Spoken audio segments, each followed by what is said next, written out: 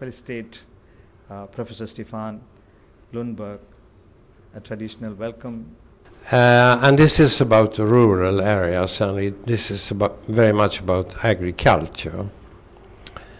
And I have comments on this uh, recent uh, economic and situation of the farmers and the suicides, which I will take up in a while. My lecture here is not really empirical. It's more uh, based on um, a lecture that I gave in Kolkata in March last year. And that lecture was called Unity in Diversity. So how to analyze social change and social mobility in uh, rural India is the topic. And it's, it's both empirical and abstract, what I'm going to say. Now, the, the, the reason why I did this lecture and this chapter in the forthcoming book is that there was a ceremony to commemorate a sociologist in Kolkata who died the year before, and his name is, uh, um, can you give me the next, next slide? Rama Krishna Mukherjee. And he was more than eight, 90 years old. He, he worked most of his time in India Statistical Institute. And he was um, one of the founders of the National Sample Survey the, the, the design of the National Sample Survey. So, and he was a very important person in Indian sociology and in Indian social science because he, can you give me the next? He, he, he, he was the true social scientist, studying not just one problem but several problems, as you can see from this catalog here. And he was very interested also in methodology, uh, working with inductive methods. You can also say that he was a Marxist. At least he, he himself calls himself a Marxist. And in that sense, he had a very strong influence on India's sociology to avoid positivist uh, uh, approach or the American sociological approach. I mean, American sociology had a strong influence on Indian sociology, but I think uh, Mukherjee was more in the European um, classical tradition. So, if you say so, you can say that British social anthropology was a more important source of um, inspiration for sociology and social science in India in, in its approach to uh, empirical studies. But I will not dwell on this. I will just dwell on one mind map next, uh, which I've called a sociological mind map. And this is uh, the, the way sociology combines the, the strong and persistent social categories of class, gender, generation, sexuality, and status ethnicity. Each of these social categories are linked to society in their own way and have, they are autonomous. But they can also be studied in what is called intersectional relationships so that the economy, which is the basis of class relation, is also very much present, of course, in gender relations with different uh, work roles of uh, uh, women and men in, in society and so on. So you can combine it, and uh, I'm not going to cover this uh, 25 uh, different um, boxes in any way, but I, am just going to point out some very important analytical relationships. We take the next. Um, this lecture has uh, an, uh, this uh, the paper, which I've written, ha has an introductory section also about what I think are the salient features of uh, contemporary India. And I point out that this quick development of agriculture in terms of new seeds and new technology and mechanization due to lack of labor. And that may come as a surprise, but uh, when it's time for sowing or planting or harvesting, the farmers have no willing hands around. They've all worked somewhere else in the next village, in the nearby town, migrating to cities to uh, uh, work as construction labor and so on. So mechanization here in India has come about for the same reason that it happened in, in Europe and the United States. People didn't choose to work anymore in agriculture. They've gone for other uh, occupations. Um, and the other force is, of course, the tremendous increased speed of urbanization in terms of uh, developing industry and primarily uh, services. And the movement of people from rural areas has accelerated in recent years, which you can see in so many new million cities, uh, uh, uh, towns, as, as well as in the growth of the, the, the real big metropolises like Chennai and Bombay and so on. Yes, next. Oh, yes. Now there is a, we will dwell on caste, but I will just point out in the beginning of this lecture that the relationship with caste, that is ethnicity and class, is very complex today in India because it doesn't go together anymore. In the old society, you could say that uh, class embedded caste, so that one caste was in a high up position or in a low position. This is not true with the changing division of labor anymore. First of all, low caste people and even Dalits have acquired some land and become landowners, which is a class change. And secondly, they have started to work in other occupations. And so the relationship with, between class and class is, in a sense, blurred so that caste overruns, overtakes, even today, the class uh, relation. If you go to any company in urban or semi-urban area, you'll find that this, the, the workers, the, the same caste both owns the, the company and work on the floor because giving a person a, a, good employment is one of the features of the caste associations, the caste relations today.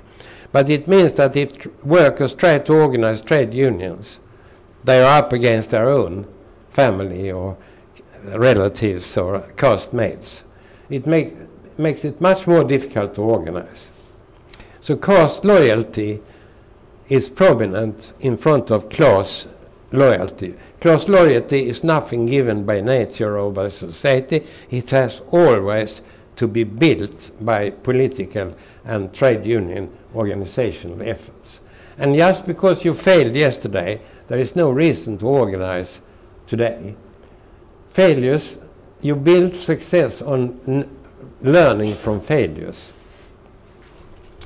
Um, this is a background. Uh, I've done this study in Coimbatore. I was in uh, a village south of uh, Madras in the 1969-70, coming back in 95. 79-80 uh, saw a, a, survey of six villages in the Kaveri uh, Delta, both dry and wet villages. And Dr. Uh, Raja Gopal and Mr. Vidyasagar were both senior researchers in this project and we have published quite a lot uh, about it. We came back after 25 years, and what you've seen in various types of publications are following up, uh, comparing what the situation in 80 and in 2005. Now, I'm just saying very briefly about my understanding of sociology. You, if you look at sociology today in, universities all over the world, they are very specialized in various studies family, children, uh, sports, economics, uh, poli uh, so political sociology, and so on. But if you uh, look at what, what is the, the core feature of sociology, it's its way of understanding social roles within various institutions, including society as a whole, if you take the role of citizen. But um, so it's a matter of not studying individuals, but the, the studying the social roles that individuals occupy. And then social transformation is about changing rules in changing institutions.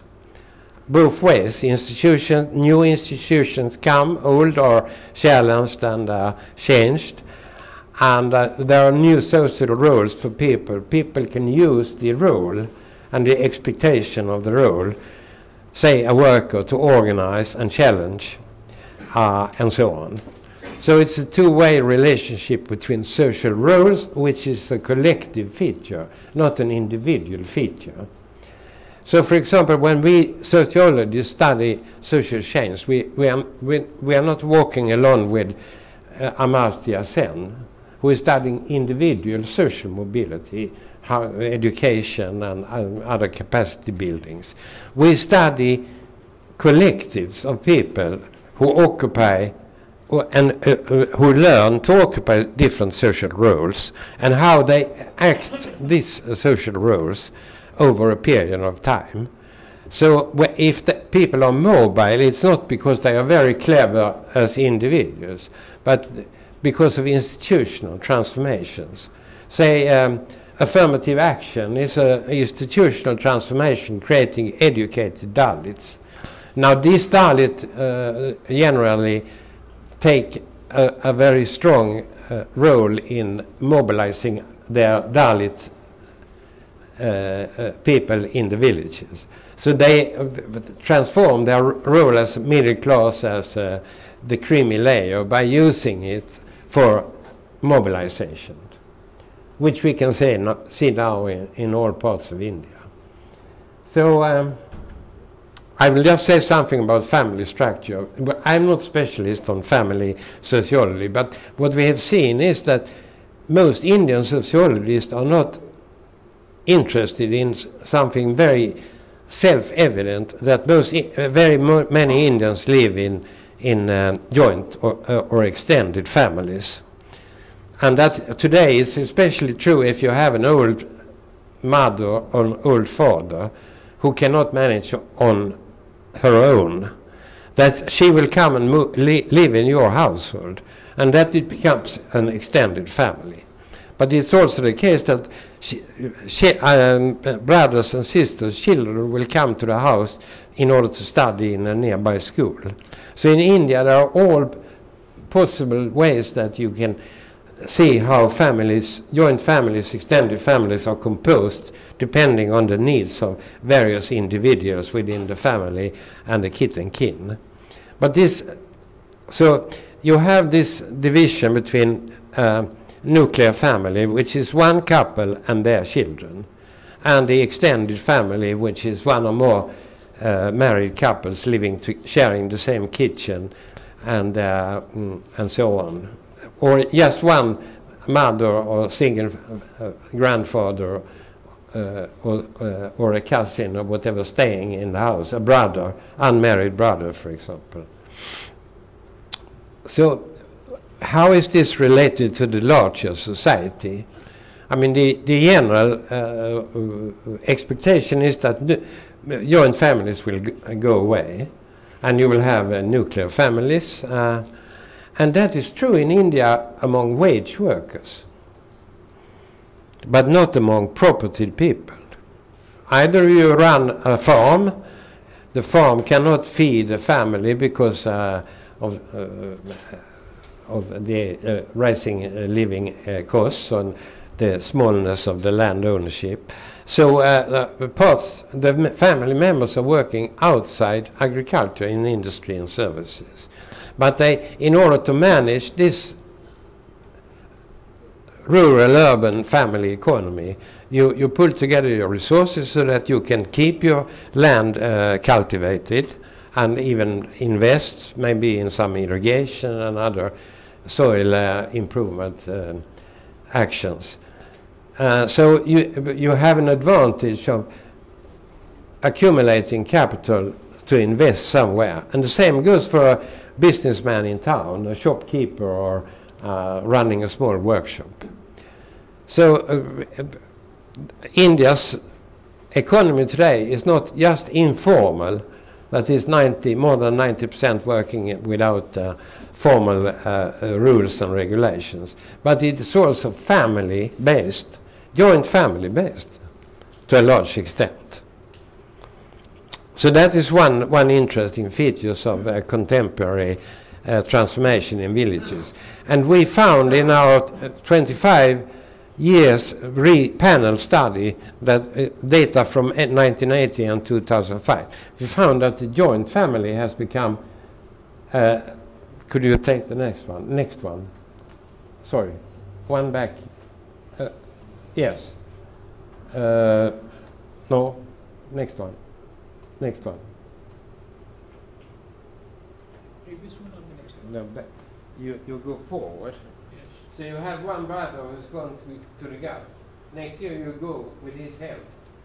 You have a sister's son in London who can send your, your, uh, your son to him in London for studies. This is networking within the family groups, which is so important for Indians compared to most other countries in the world. Okay, so that, so much about family. And this is, of course, uh, uh, family is, of course, gender. So economy and gender is actually the analytical dimensions here. How they differ depending on, on, on how the economy looks like. Now, the next we will have to look at is caste. And um, we go next. Next. Caste it's interesting. This uh, old uh, sociologist Mukherjee, he, he, did studies in uh, rural West Bengal, and he found something very interesting. There were more joint families in the towns than in the rural areas. The landlords had moved to town in order to have education for children and, and um, access to markets and, uh, and so on. And they practiced uh, joint family, whereas the landless workers lived near the land in the villages, and they had nuclear families. So quite the opposite to uh, general expectations that with urbanization people would go nuclear, families would go nuclear. He could see a pattern of increased joint families in urban areas. And this is exactly what I hinted at when I talked about uh, uh, small business and farming being uh, the, the infrastructure, economic infrastructure of joint families. Um, we, we have studied um, caste in 1980, uh, a distribution of caste in 80 and in 19, uh, sorry, 2005. And there is practically no change, except uh, one change which is significant, and that is that the Brahmins in the canal wet villages have become very a very small minority. They used to own the land and lease it out to tenants who were either medium, uh, uh, uh, middle class people, uh, Mutradya, uh, and so on, or, or to pariahs, uh, uh, the SC, the Dalit population in the villages. Now the farmers have sold the land. The landlords have sold the land. and the, the, these um, SC and Mutaradias, they, they cultivate the land. So there has been a transformation in the class structure in the, uh, um, in the villages. Uh, and in the dry villages, uh, the land has not changed to the same extent, but SC people have land, dry land. And being landed is very different from being wi- without any lands. It gives a kind of social security and status. And the most important thing that we have seen over these 25 years is that people have been mobilized uh, politically. The lower caste, the Dalits have mobilized. Most uh, paramount of this mobilization is the early Dalit Panther mobilization r- uh, running through the Paraya community uh, with uh, Ambedkar as the, uh, the symbol for emancipation.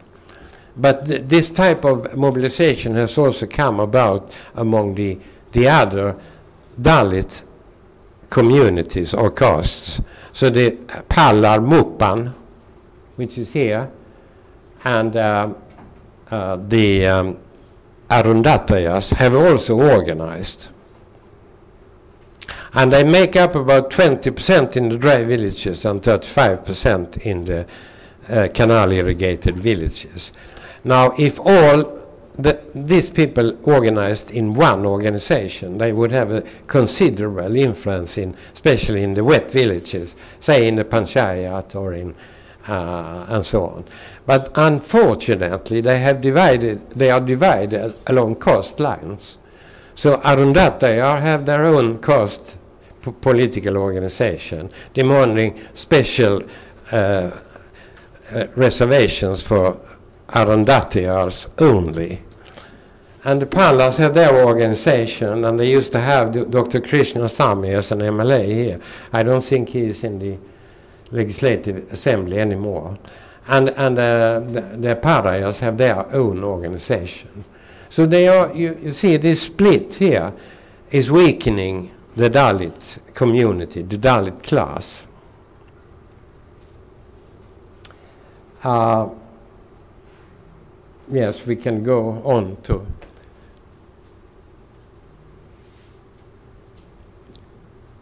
Uh, next also.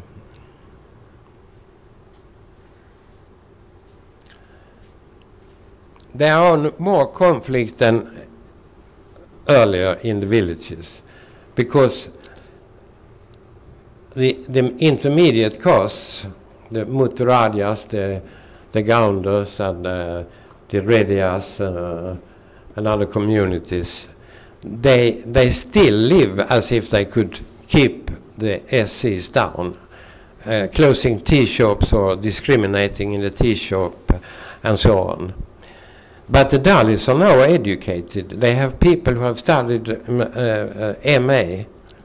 They, they, they are employed by non-governmental organizations to work in the villages. So this increases the conflict, social conflicts in the villages. The Dalits are not just bowing their backs.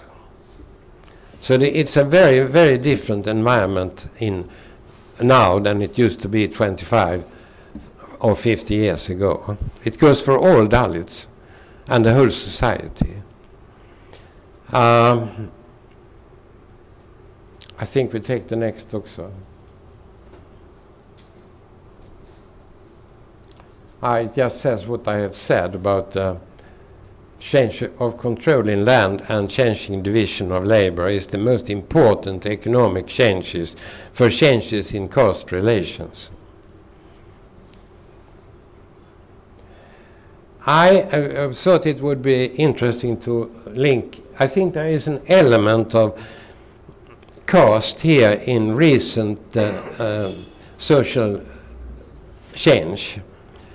With the land reforms here in the Kaveri Delta, in the, the, the whole Kaveri, along the Kaveri, the, uh, quite uh, a lot of land has come into the possession of the the SC population. That means that they are new farmers. They used to be tenants. But now they are in charge of their own household farm economy, which means that they have to negotiate with the capitalist market for inputs and outputs. And with the, the, the kind of um, dirty capitalism you have with money lending and, and uh, mm, uh, spurious seeds, spurious insecticides, fertilizers, selling bad quality products to the farmers. You make life very difficult for the farmers. And if you are not in a big family with lots of social networks and political clout, it's not easy for you to defend yourself. So one reason I think it, some of the farmers who are in large difficulties, they don't have a family history of farming on their own. Now, I, I don't think this is the main uh, reason for the recent 70 uh, suicides, desperate acts of farmers. I think there are more important reasons than uh, that they are new farmers. And uh, I would like to point out that the drought, of course, is one such factor which cannot uh, be denied. If there's drought, a crop failure, and you have lots of indebtedness, how can you feed your family? How can you arrange family functions, send people to school, student, uh, young people in a family to school, and so on? It's this absolutely terrible economic situation that makes people commit suicide, thinking that it will solve the family problems by some compensation from, from the state and so on. So this is one reason. But the, the most important reason is actually, I, and I say this because Tamil Nadu, you know, has not had suicides in its uh, state in, among the farmers earlier. It, it, it, was common in Punjab, in Maharashtra, uh, for example. But in Tamil Nadu, there has not been any suicide until now. So something has happened. And I think uh, the main factor is the, un, the, the way uh, agriculture is organized. During the Green Revolution, there was a very strong state intervention in terms of inputs, uh, in terms of credit, bringing down the interest rates in credit, and, uh, uh, and in, in um, ensuring that you could sell your crop at a reasonable rate to make a profit. Now, the, this system is more or less being dismantled. The public investment in infrastructure has gone down in the recent uh, uh, 20 years, since, especially since 1991. Uh, and um, the cooperatives that were built in the villages during the Green Revolution have completely lost their role. Instead, it's private business who caters to the input needs uh, and the private credit institute which give credit to the farmers. And the farmers now are not all uh, growing uh, paddy and uh, uh, sholam or ragi. They are cultivating vegetables, cash crops, groundnuts, uh, chilies, uh, vegetables of many different kinds. And so they are facing the markets as individual economic entrepreneurs. And this leaves them in the hands of this middleman, the businessman, the money lenders, and they become very vulnerable. So if you combine this with drought and crop failure, you can see this as a trigger. And once you have had a number, small number of farmers commit suicide, it's like a pest it, attack. It, it, it spreads to others. It gives the others a, a role model. Oh, I can't live with this. And my neighbor here, he, or the, this farmer in the next village, he committed suicide and he was given three lakh rupees from the state. and could, the family could clear the debts and so on. So this is how I look at suicide. Uh, but now I will, uh, excuse me, what is the time now? 12.20. So I have only, I probably speak for an hour and I have 10 minutes more. So can we take the next picture? Yes, I'm now going to talk about two sociologists. One is Charles Tilly, a sociologist and historian, mostly writing about European, French, and uh, French history from the French Revolution in 1789. And that's why he becomes so interesting, because he is really dealing with caste and other social categories, including then, of course, uh, ethnicity and status. But his, his scheme for understanding social life is the concept of exploitation. When one group of people can to get a surplus labor from another group of exploitation. And this is one of many that he calls categorical pairs. Can we take the next picture? So uh, social relations can be, between people can be very different. And here you have a number of varieties. You have the relation between uh, uh, two people, three people, uh, an organization with a middle uh, connecting the organization to the outside. But his significant relationship is this, this what he calls categorical pair. So it's either you own the company or you work in it. You cannot do both. In his, if you, you have to see the class system in the in the uh, enterprise uh, on the farm, the farmer and the laborers, the, the industrialist and the laborers. So you cannot. These roles are fixed in a particular historical situation. Now, this categorical pair can also be what we have constructed through history, gender relations, man or women. Of course, today people talk about mixed sexuality and, uh, and so on, but historically speaking, up till now, we have two genders, and they relate to each other in what we call paternalistic society, patriarchal power. Men dominate women everywhere, practically, even if some societies have matrilineal inheritance patterns. It's the men who rule, rule the world. And we are just breaking up from this categorical pair of men on top of women. But we have a very long way to go if we look at society outside. Next picture.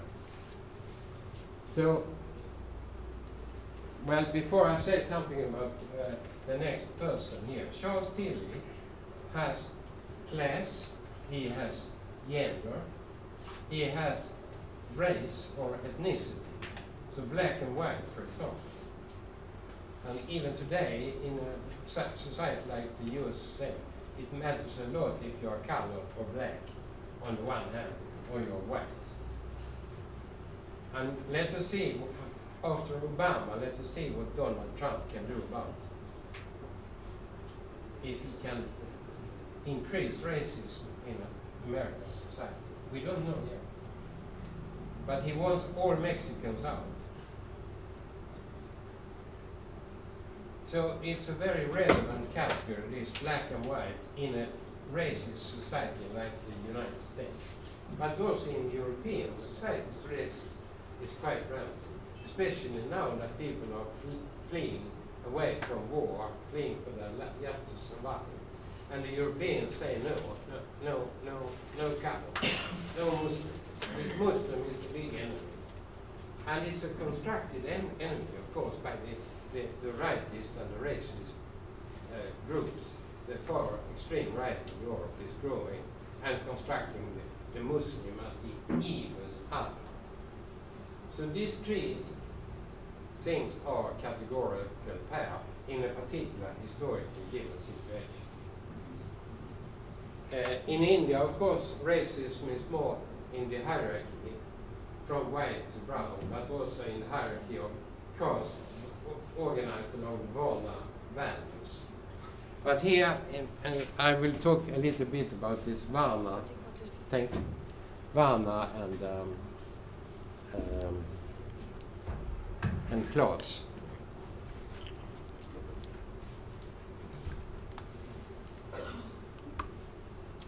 Partha Mukherjee is a sociologist in New Delhi who worked most of his life in Indian Statistical Institute. He is writing about the three concepts, actually the four concepts of exploitation, oppression, and discrimination, and gender discrimination. So he has four categories. And importantly, what he does is he points out that each of these dimensions has its own autonomy. It cannot be reduced to, to um, just exploitation, economic exploitation. But political oppression can be there, uh, cultural discrimination can be there, and gender discrimination is almost everywhere. So, uh, using uh, building on these two um, sociologists, I have tried to to understand my own fieldwork in Coimbatore 50 years ago and recent fieldwork among the same people. We take the next picture. Yeah, here I said something about Amartya Sen's model of mobility, which is based on individuals, whereas my understanding is that it's based on collective roles. Uh, next picture. Yeah, this is a picture taken of uh, adults and children in a village near Pallada, near Tirupur. You know the textile town uh, between Tir uh, Tirupur and Palladam in, in Coimbatore. And they are so poor. This, this is, they are all uh, Arundhatias. At that time, they called themselves Madharis. And they used to work with uh, taking care of the dead cattle and make uh, and tan the skin and stitch big leather buckets to pull up the water from the deep wells for the Gaunders who owned and operated the, the land. Now, in the 60s, the electric pumps were, uh, uh, were uh, introduced with electricity and first diesel pump and then electric pumps. And these people were went out of jobs because the farmers had no interest in uh, employing them anymore. So they were in a completely disastrous and desperate. It was a big tragedy. And I think that uh, many uh, NGOs, including the churches, um, did uh, some good work to just help them to stay alive. But I'm also sure that a, generation of them died because they didn't have enough to eat. They were starving, meaning that their population did not grow in comparison with other groups in society. Now, I, when I come back here in 2011, or in this case, the, the Oxford e economist who is a colleague of mine, who came back, and this is just a photograph. But the Madharis have a completely new class situation. They are specialized agricultural workers. Why? Because all others have left work in agriculture. But the Madharis at, at recent times did not have the education and the social network to go to town and start to work in a cotton uh, textile factory or, or so on. So they stayed back, and they uh, they were able to, to to specialize, and they have their own autonomous small trade unions. They have what is called kotu, uh, gangs of laborers make a bidding on harvesting a field or plowing a field or so on, and and they. Um, they, their, their, their living standard has improved tremendously. in three, uh, in one, 25%, more than 25% of the houses, they can afford that the woman stays at home to give birth to the child and for the first years. She doesn't need to go to work like before. before. Now, the traditional relation here was, of course, a, a matter of class and religious status. And this is the religious status in, in Coimbatore up till 50 years ago. That is this um, uh, Brahmin ritual purity concept. And in Coimbatore, it was the Gaundus who were the closest to, to, to, to God, and the Madaris were the closest to the unclean, the impure, to, to hell. But there was one factor in Coimbatore district which is very interesting. The Madaris were not classified as natives, but in, intruders. They have a system of right and left hand castes. And there are anthropologists like Brenda Beck who studied that.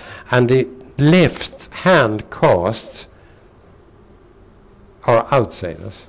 Even if they have lived in the village for hundreds of years, they're being still being outsiders, not to be trusted the way you can trust insiders. So the other SC group in this village, the Pariah community, they are counted as right-hand cause, that they are insiders, they can be trusted. And they also have much easier life than the Madaris. Next picture. But here, uh, uh, this religious system stood parallel to the class structure, and each of its other reinforcing uh, uh, each other. So here you have the landowners, you have the landless labor, and between them there is an absolute categorical di uh, difference. Uh, and uh, the landowner, the gounder, is the king, and the laborer is the slave. Okay, next. So this just summarizes the, the, the, the, the combined analysis of, of class and uh, state, religious caste status. Next picture. So I've just said that they, 50 years ago they, they were out of work because uh, mechanization. But if you look at it today, they are back in. Next. As I told you, they, they, they, they make a, much better uh, uh, living, a higher living, they higher wages, permanent labor, uh, and uh, every day, more or less, around the year. And women can stay home when they need to look after the children and so on. So it, when they have pucca houses, they have toilets, they have ele electricity. Uh, uh, it's a completely different situation today, 50 years after. Next. Uh, and I, I, I, have, I call this in my own way for reversed opportunity hoarding, meaning that by staying back, they have suddenly become pri privileged as the only ones who can work the land, while all others have migrated. They have stayed back. And in the end, this meant that they are now in much demand. They drive the tractors, they um, handle the uh, planting machines, they spray the insecticides, they um, dr drive and handle uh, the uh, threshing machines and so on. So they have become specialized workers, and they do much better. And they organize in, in gangs who can bargain for higher wages. And they also have taken seats with the 93 uh, uh, change uh, to uh, uh, decentralized democracy, they now also raise their voice in the local panchayat. So local government is a completely different thing than in Tamil Nadu. Of course, it was dormant for 40, 50 years, but now much more active. And the Dalits are raising their voice along with the women. Uh, so political oppression has ac actually diminished as a result of less exploitation in, in, um, in, in agriculture. But next page. I mean, the, the Madaris are still outcast in a way. They are still Dalits. And the more they ask for re uh, reservation and so on, they, the more they reinforce the identity. So in the end, of course, the Dalit struggle must end with the breakup of endogamy and that people marry across. That's the only way. And perhaps it's happening because Indian people are romantic and love marriages become more and more common. And I think that this pressure on the traditional marriage system is reflected in the number of honor killings you now have in Tamil Nadu. Especially in the Gaundar and the Thevar communities, you can see how anxiously they, these middle class people, they guard their children. Especially a girl from a Gaundar or Thevar family marrying a, a, a Dalit boy it's death punishment. You have so many cases, and students who agitate are, are stopped by the police. So this is uh, normal Tamil business today. Caste oppression is still rampant, but it's also there. This oppression and punishment is there because Dalits challenge it.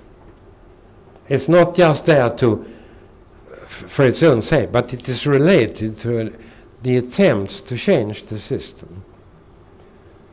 When the system is challenged and the, the, the old power holders think that the system will collapse, they make resistance. They make this violence against the, the traditionally low castes. So I think this is a sign of things to come that Dalits challenge and that you the breakup of endogamy may come within one, two, or, or, three generations. First in cities, of course, but then also in the rural areas, where people are not today backward. Rural people are urban, they have the TV, they have the mobiles, they work in the uh, cities. You can't talk about rural and urban anymore. You, it's one society and uh, urban people here who have maybe never seen a Jallikattu alive. They are now out in the street here in in Chennai to to protest against the ban on yali Jallikattu. So you can see how things link up. And I have just tried in this um, one hour and so on uh, to, to make some remarks about how to go about analyzing social change and transformation in uh, India, especially emphasizing the rural uh, areas. So I thank you for listening so long.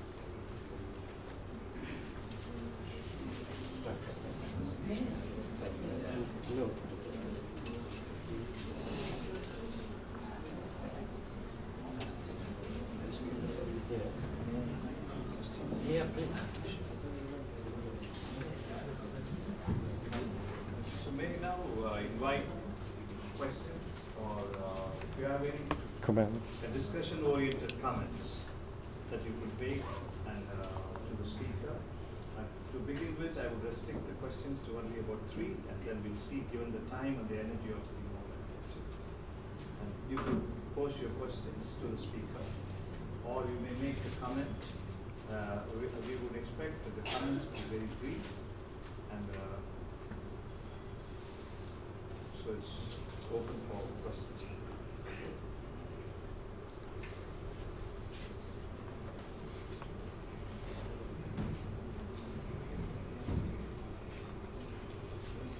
Yes. No, um, Would you mind introducing yourself? okay, my, my name is Thomas. Um, over the 50 year gap between the first study Hmm. and the most recent one, Mm.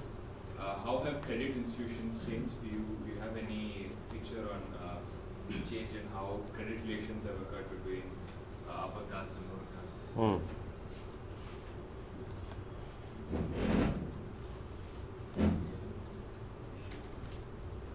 Yes. So myself, Prakash, doing international relations. Mm. My question is, as you rightly mentioned that uh, uh, what the corporate compartment of the caste system, the rigid Indian society, Mm. And uh, honor killings. In Indian society have to check the ontological, epistemological, radical reconstru- reconstructivism from democracy, what is culture, what is nationalism, what is caste structure. So coming to the point, you have mentioned the land uh, ownership, but you never mentioned about the land reforms. Because our constitution makers and national makers envisage that the real democracy of India is to bring social revolution and economic revolution without a bloodshed. But it never happened. Land is always owned by the dominant community. So, what is your understanding for the last two decades? Who benefited from the green, green revolution? Hmm. Why like us like Malays are still struggling to be landowners? Hmm. And you also told about mechanization. Hmm. Due to mechanization, they lost job also. They don't have the land. They have to migrate to urban areas. So what is the solution for this? Why there is a lack of political will?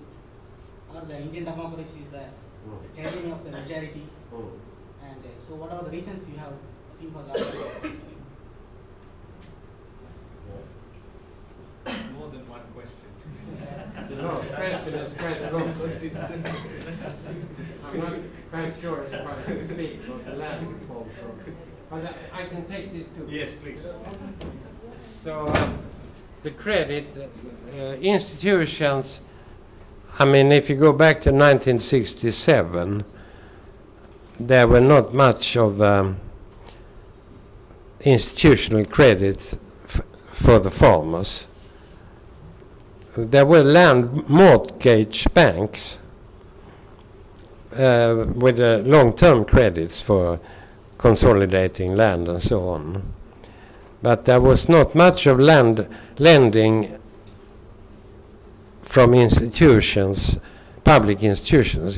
The money lending was rampant, and that was either money lenders or merchants in in um, forwarding uh, credit for uh, against the contract of uh, selling the product to this particular merchant the the um, the Madaris were normally indebted, the landless laborers indebted to the landowners. Uh, They were uh, having year-long contracts, and they were taking loans from their landowner, their, the, the, the, their employer, which they normally never paid back because they instead they had to work for him the next year. But more loose relation, casual labor was very often uh, with money lenders coming from the outside and lending at this 70% a year, 3% or 4% or even more, 6%. So that was the situation. N- Then the Green Revolution came with the credit cooperatives. And uh, if you take about 1985, 80, 85, say more than half of all loans for agriculture came from banks and uh, uh, public institutions at 12% interest. And this had a very civilizing impact on the private money lending. So the private money lending the, their interest rates were also reduced uh, uh, comparatively, down to about 20% or so. This is all history now, with uh, uh, public financing of a rural credit institute has stopped. So that uh, there is nothing. They have to go private again. Ra ra uh, rates of interest have increased. Uh, and the, the, the, for the, the, the landless worker, there is no change. So then in rural areas, you have you know, bonded laborers working, say, on uh, weaving machines in the villages, with a, a Gounder landowner having a number of laborers sitting by the machines. And they are heavily indebted. Lo more than one year's of income is, is their debt, and they never they are never able to pay it off. So they are in a very difficult situation.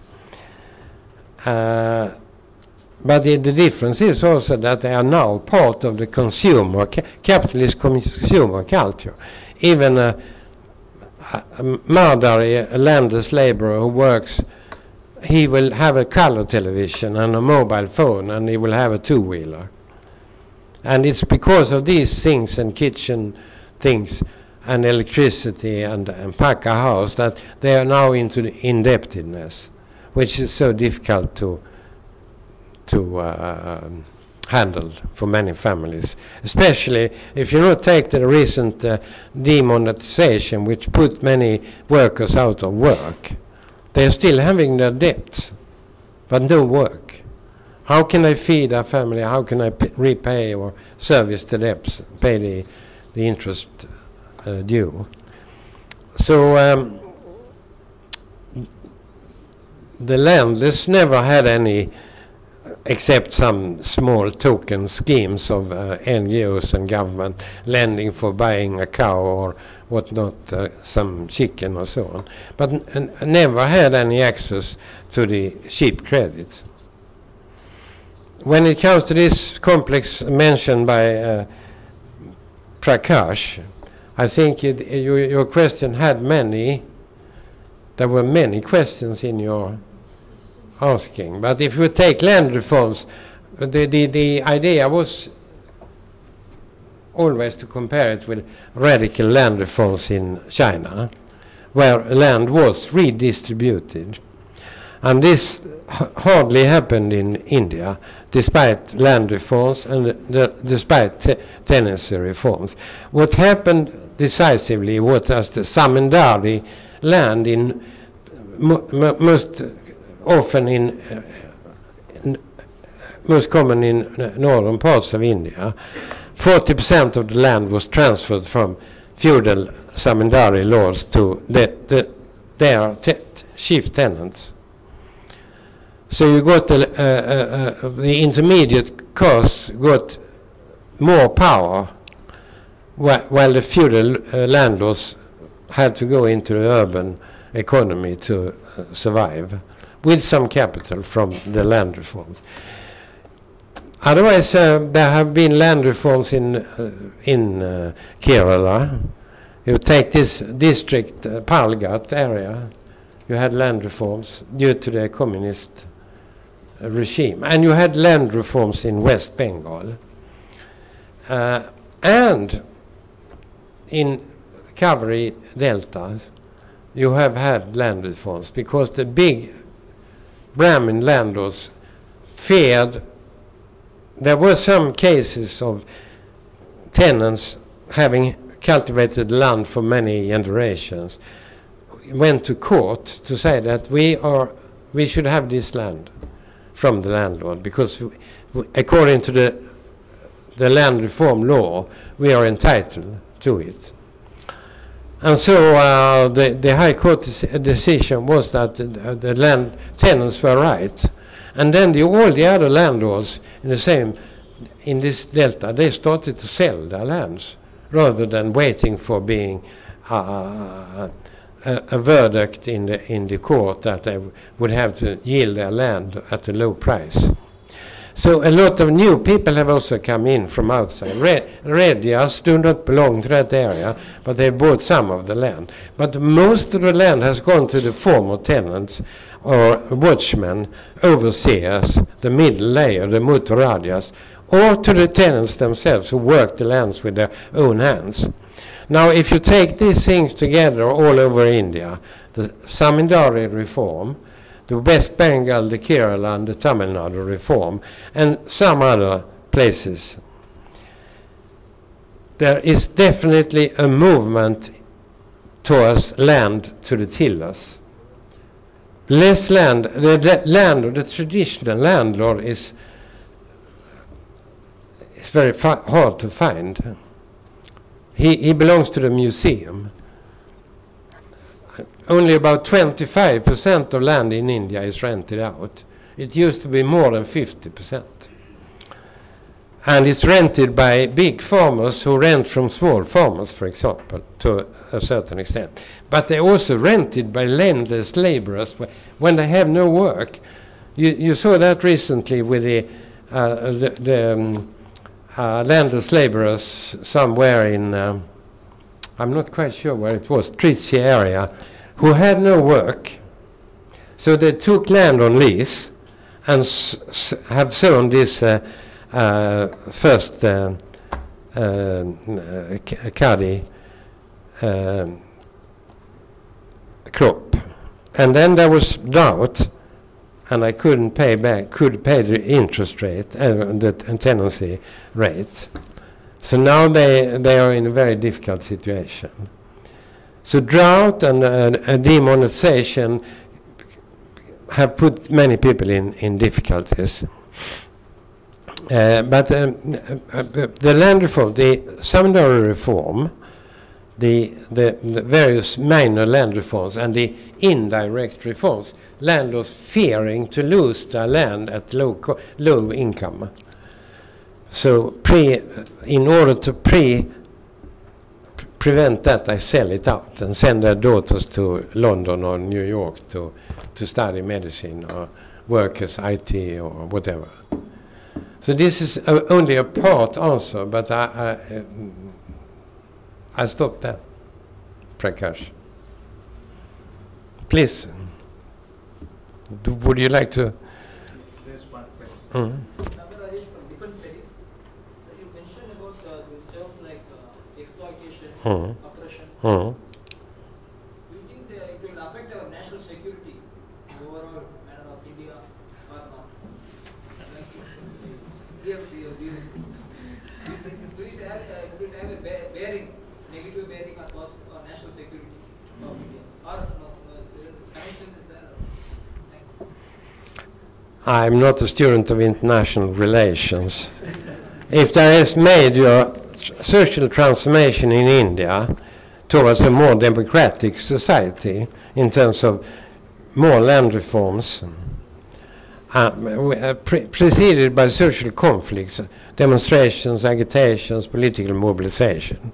But if there is a steady process of democratization, not just of the political system, but also the economic system, the workshops and so on, cooperatives and co-ownership and so on, then India will strengthen its uh, standing in the international community.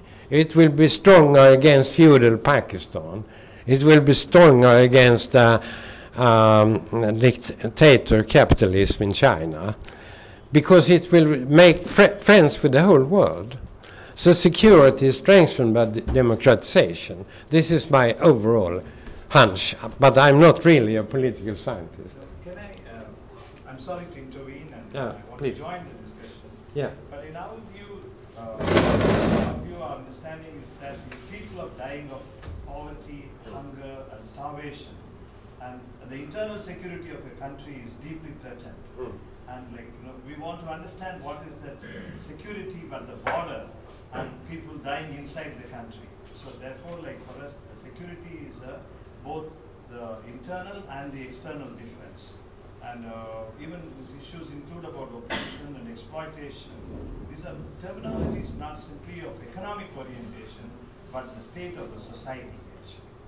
And internal security is also very important, where about like uh, what they call as non-military threats. And uh, so the military threat is the border, and the non-military threat is equally important for us to understand. I am convinced that all presidents after the Second World War in the United States have started war, except Jimmy Carter. and this has been to address uh, internal political conflicts. So, uh, and the most flagrant example is uh, Margaret Thatcher being criticized inside Britain, starting the Falkland War. And then, uh, once you are in war, the national sentiments are strengthened and your internal differences fade away. So, if, if, if Modi is now threatened, you can see that he will be more active on the foreign side and in, in, in foreign policy because uh, to show that I am the leader of India, whatever you want is Jallikat or, or minor things, we are united in facing the, the Chinese or Pakistan enemy. So he will play on that. And this is what many politicians do. They they, they di- divert people's interest from the real issues. And, and, and there was a film called uh, Wagging the Dog, the tail that wagged the dog. That is the president, by declaring a war on, on um, e- e- internet with a country that didn't exist could capture people. All people had to come together, to work together, united, and make peace internally.